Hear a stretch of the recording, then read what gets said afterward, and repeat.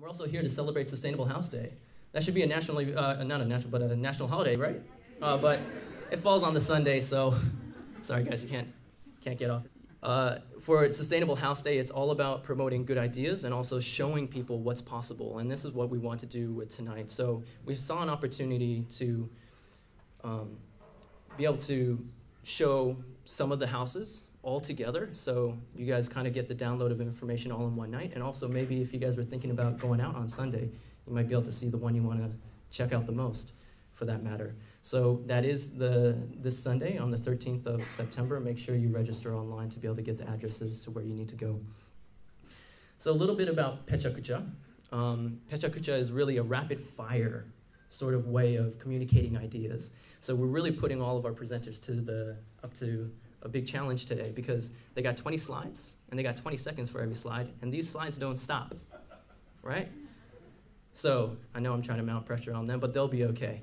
But the really big thing about this whole thing is you got to be supportive of what they're saying as well. So even though it's going to be quick and to the point, they're going to give some give us some really good juice, and uh, and we hope you leave today inspired or um, wanting to do uh, more in the realm of uh, sustainability in especially in the residential uh, sector. Just as a quick intro for our first uh, presenter. Our first presentation is by Brett Aylen, who is the um, architect behind the Zero Carbon Challenge House, and he's a co-founder of TS4 Living. Now, he's been working in the industry for over 20 years um, and has a broad experience uh, on sustainability at all levels.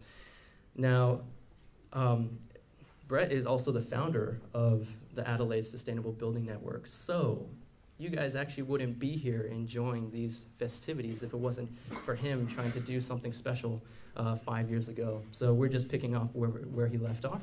Hit the road. All right, let's do this. Welcome up, Brett.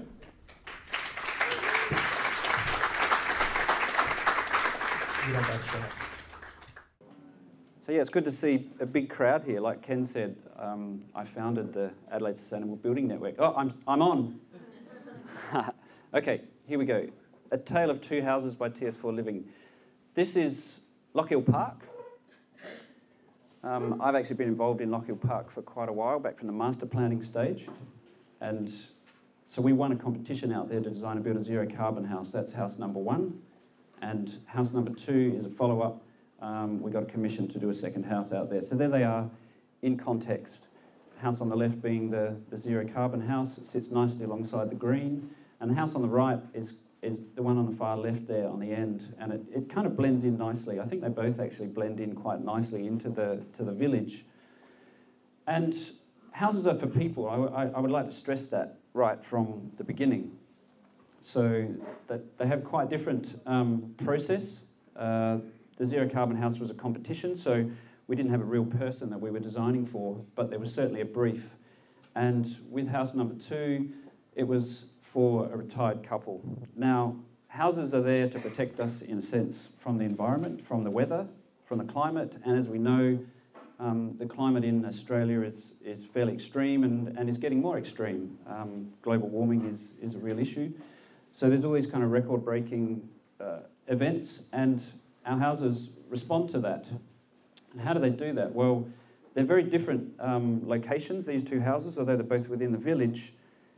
You can see their house number one uh, to, to the north. It's, it's exposed to the north, east, and west. Um, so we responded to that by giving it a lot of north glass and then putting up quite a bit of shading to the east and west. So there it is, north elevation.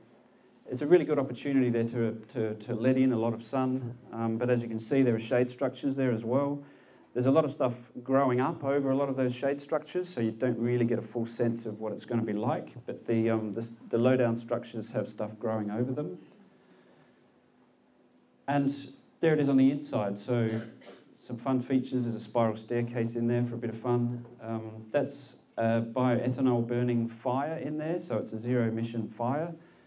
There's, there's that plus um, a couple of electric panel heaters, so the house doesn't need much heating, and it has indirect evaporative cooling, so you can see a cooling register above the kitchen. Now, house number two, in a way, was much more challenging to design because there's another house immediately to the north. So the only way we were able to get much north sun into this house was to actually pull it back and create that courtyard that you see there. And it, it, still had exposure to the, to the east and west, but had a lot of, um, I guess there was a lot of challenge to, to, to integrate it into that streetscape, um, but not leave it too exposed to the east. So we finished up with a, a shade screen, and rather than rely on stuff growing on this house, um, we decided to put that two-story shade screen up. And it actually works quite well with the houses next door because they also have those horizontal lines. Now, this is the inside of this house, and you can see I shot this um, about two weekends ago. So one of those nice sunny winter days, and the sun is coming right into the living room, which is really what we wanted to achieve. There's an exposed um, concrete floor there, and you can see a light strip down the, down the left-hand side there throwing some LED light onto that back wall, which is a nice feature. So here I thought about controlling the intense um, sun. So there's the western facade of each of those. So on the left there, um, we've got stuff growing up over that facade. And, and on the right, house number two, we've, we've gone with that um, slatted screen and there is some stuff growing over there. And it's sometimes good to have flexible shading because you can't always control the sun um, just with fixed shading because our climate is such that it's, it's nice to be able to vary the shading depending on the time of year and the time of day and what you're doing. So we often put movable shade devices like that, um, especially over the outdoor spaces, so you can sit in the sun or sit in the shade. And there's a great example a couple of weekends ago of the shade open and the shade closed. So, you know, you can just imagine sitting in the sun there and, and really soaking up the sun on a winter's day. But then, you know, a day like today, if you're sitting in the sun, you'd probably get too hot, so you can roll the shade across. So there it is again inside um, house number two. I just thought I'd highlight that um, LED strip down there because the owners told me that in the middle of winter when it's really grey outside and they get up in the morning and they turn that on, they actually really enjoyed that because it felt a little bit like sun almost being cast into the room. So the effect of it is almost like having a, a skylight or clerestory windows along there. Now, how do we make our houses actually respond to the climate? One of the ways in particular that we do that is to seal them well against drafts because obviously if a house is uh, leaking, then it's not being controlled from the outside environment. And we've had these houses um, tested with a, uh, what's called a blower door test. That's that apparatus on the left. So you essentially pressurize the house the image in the middle is a little smoke stick, um, and while the house was pressurised, testing for leakage around the lights. And on the right there, you can see the window is very sealed up with all of that foam. So there's just a couple of the simple principles of, of how we seal up a house well. And a little note here, thanks to CSR, is insulation is good, but you've got to be careful how it's installed as well. So if it, the photograph on the left, you can see it's been squeezed into those spaces. And then on the right, you can see a thermal image, and you can see the really yellow is, is kind of the, the heat bleeding through there. So you need to insulate well, um, but you need to install it well. So there's an example on the left of one of our houses with a nice and neat install in the insulation. Then also on the outside of the house, we actually wrap um, our houses with a, a foam board product, which, which really completes the insulation layer and also helps the air seal. And then there's an extra timber batten that goes on the outside there to create an airspace to the cladding.